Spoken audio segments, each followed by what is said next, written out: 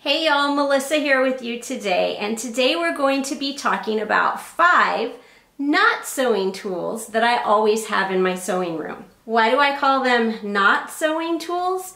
It's because none of these are typical sewing notions, but I find all of them helpful in my sewing room. So, what are they? Number one, starch. I use starch all the time to help with fabric handling.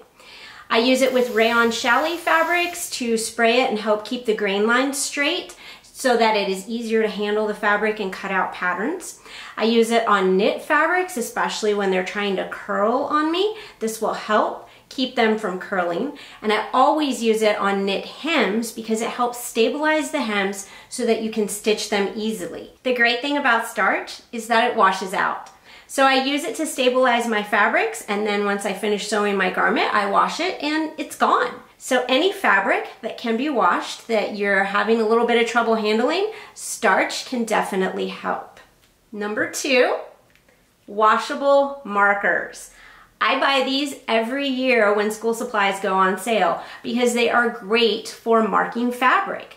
They mark all different kinds of fabric. I can even use this to mark fabrics with a pile, um, knit fabrics, things that don't necessarily work well with some more traditional marking techniques generally work well with washable markers.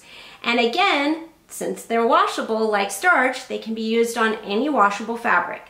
Now I do recommend if it's really special fabric or if you're worried that this might not wash out, check it on a scrap first. But so far I haven't found any washable fabrics that I couldn't get these markers out of. Number three, transparent tape.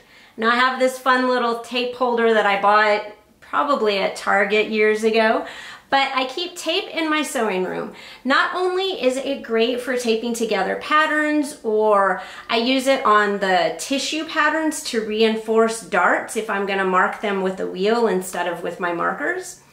This is also great for things like zippers. You can use this to hold a zipper in place without pins, which can sometimes cause like bumps and wrinkles in a zipper. And then you just stitch right through it and pull the tape off later. Number four, cardstock. I use cardstock if I need to make a template of a pattern piece that I'm gonna be cutting out a lot. It's easier to cut around the edges of cardstock with a rotary cutter if that's how you're going to be cutting. But mostly I use cardstock so that I can use it as a pressing guide. I draw little lines using my ruler and a pen and then I fold the fabric over and I can press to other depths precisely. And number five is matches. Why would I have matches in a sewing room? It's because these are great for sealing the ends of synthetic polyester fabrics. So if you have like polyester satin ribbon that is fraying on the ends, you can use a match, hold the heat close to that end, and it will make a little melted bead of melting those threads together so that it won't fray anymore. So matches are actually super handy to have in the sewing room. All right, y'all, those are five not sewing notions that I always have in my sewing room. If you have any other not sewing tools that you always use in your sewing, I'd love to hear about them. Please leave that in the comments. And if you want to check out this playlist, there are more tips and in-depth information on some of those typical sewing notions.